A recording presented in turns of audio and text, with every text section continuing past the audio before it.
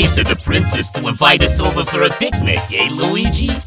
I hope she made lots of spaghetti. Luigi, look! It's from Bowser.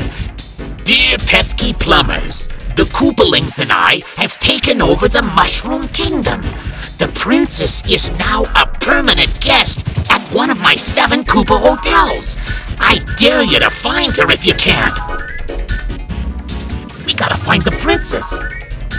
And you gotta help us. If you need instructions on how to get through the hotels, check out the enclosed instruction book.